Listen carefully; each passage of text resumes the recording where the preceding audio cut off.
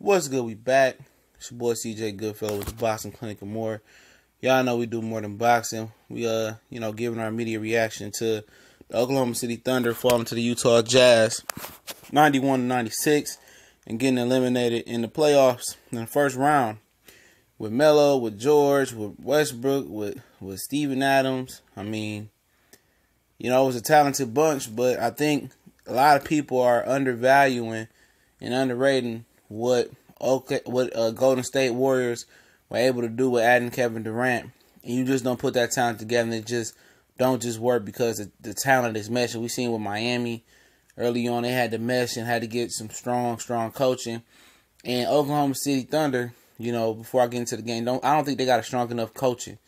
And I don't think they got that stern coach that's going to demand that respect. And that's just my opinion on that.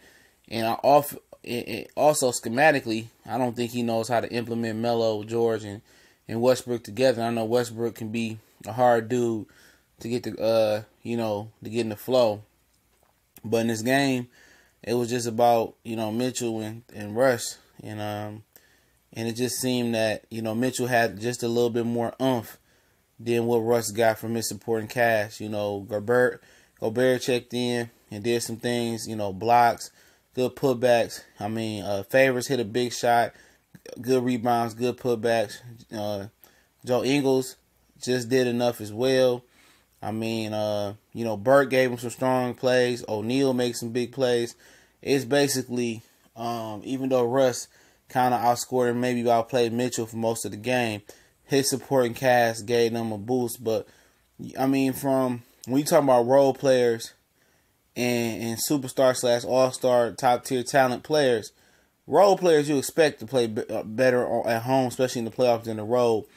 But Russell Westbrook had two all star, you know, caliber guys with him, and Melo, um, and Paul George, and you know neither one of them showed up. You know, you know Paul George showed up like a role player usually does at home, but didn't show up on the road, and that's a big issue, man. You know, Paul George got to be consistent. He ain't got to drop 36 or 40 points every playoff game, but he got to be able to at least give you 20, you know, seven rebounds, seven, five or six assists, and some good defense. And Donovan Mitchell was baking his ass, you know, especially with Ricky Rubio falling out the rotation with a hamstring injury. Um, Oklahoma City should be ashamed. You know, they got the same result when they ain't have nobody but Victor Oladipo and Russell Westbrook last year and Steven Adams. They added, you know, Paul's to be a top 15, almost a top 10 player in Paul George even after the injury. And Melo, um, who should at least be able to spot up and shoot for goddamn. Melo ain't provide nothing this year. And I think it's because Melo has been used to, um, you know, being a vocal point of the offense and the offense, you know, going to him, he ISO Melo. He don't know how to be implemented into a regular offense and do the other little things that's gonna help the team, you know, get to the next level. And at the end of the day, he gonna have to look himself in the mirror. He gonna have to start defending. He gonna have to start facilitating. He gonna have to start becoming a spot up shooter. They're gonna have to implement him a post game. He's gonna have to make his game more flexible. Even if it's just him and Russ and Paul George walk next year, he's gonna have to just, you know, change his game to be more team friendly. But, you know, Utah was the better team. They was a better coach team. They had the better talent than Donovan Mitchell, other than Russell Westbrook. And, you know, the rookie made plays and he had the better supporting cast, you know, even equating Paul George in there. You know, Jeff Ingles was talking cash shit to Paul George in this series.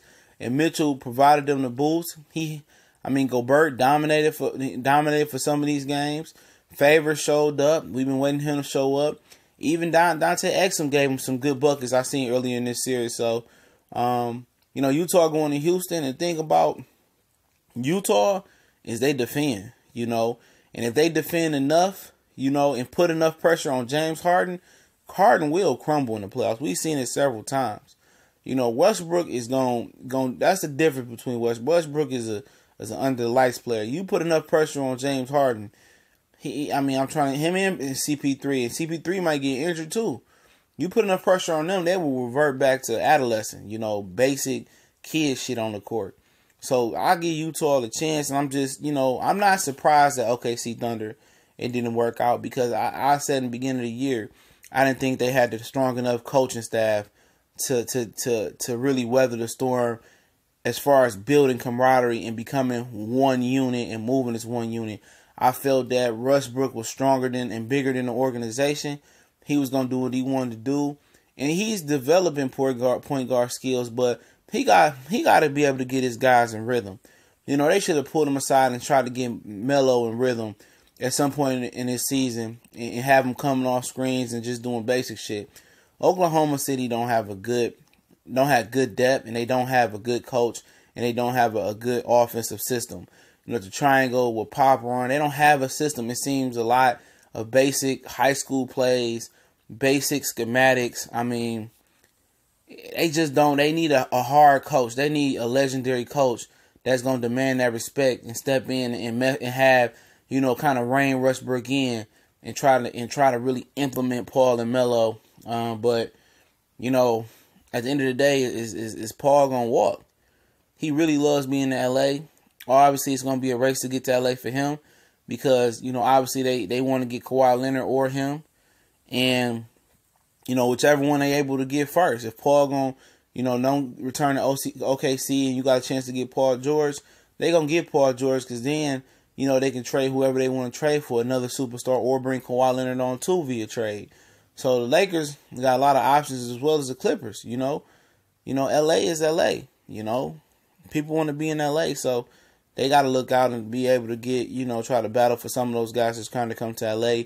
For Westbrook, man, it's funny, man. You know, him and, and Oladipo, I call him Home Depot, they didn't work last year. Now Oladipo is on the verge of making it to the second round, which we all know Cleveland is probably going to smash him on Sunday anyway. But, you know, he's showing up and he balling. And all of a sudden, Paul George get over there.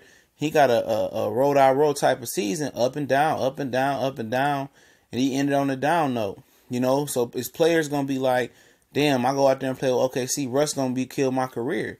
And I did a video, and I don't think Russell Westbrook is intending to to be so ball dominant, but you know, I, I think he really is maturing. He not competing for shots no more.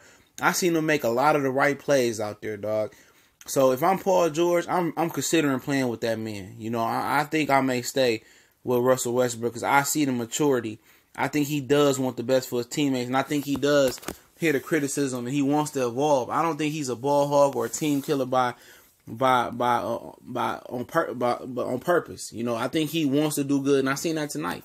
I seen Westbrook wanting to make the right plays, and if he continues on that road, and they could somehow get Melo not to opt in, or if he opt in, they get rid of him next year, something like that.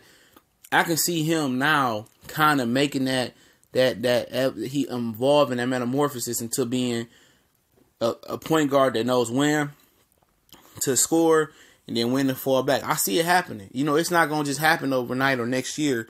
It's gonna continue to happen when he when he keep failing in the first round. He gonna have to do something different. And tonight he tries to do something different. His team just didn't step up and help him. Congrats to Donovan Mitchell, Joe Ingles, the guy that was cut by the Clippers. I know they regret it. Um, Gobert, you know, who was a little bit hurt by Gordon Hayward you know, you know, spurring them for Boston. Um, you know, Quin Snyder, great coach, should be up for coach of the year as well. Um, Utah deserved it. You know, a team that hadn't been making too much noise since Deron Williams, and then before that, since Stockton and Malone. Um, they deserve this victory, and that, that Donovan Mitchell kid is something else. I'm mad that my Detroit Pistons passed him up for Luke Kennard, but I'm happy that he landed in Utah and he able to have an impact on that city. They love basketball and uh, congratulations to the Utah Jazz for advancing to the second round. And I give them a little bit of a shot to beat Houston, just a little bit.